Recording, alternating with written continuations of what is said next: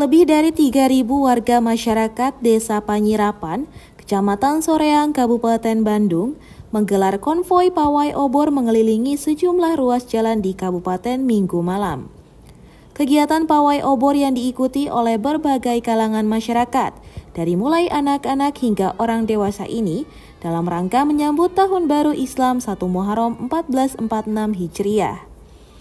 Momentum pawai obor sambut tahun baru 1 Muharram ini pun diharapkan mampu menjadi pedoman kebangkitan umat muslim serta menambah pengetahuan masyarakat tahun Islam yang sering kali kalah tenar dengan tahun Masehi. Uh, Alhamdulillah pada menyambut tahun baru Islam 1446 ini Desa Penyerapan pemerintahan desa bekerja sama dengan MUI Desa Penyerapan menggelar pawai obor yang kita keliling uh, di sekitar desa. Kemudian ada beberapa uh, apa, door prize untuk uh, penyemangat uh, para peserta dalam rangka pawai obor tersebut.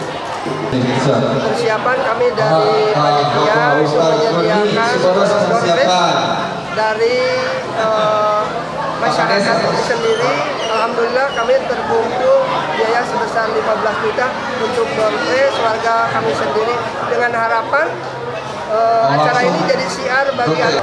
Kalau peserta hampir dari semua warga desa Panyirapan mengikuti yang terbanyak kami undang itu dari diniah-diniah.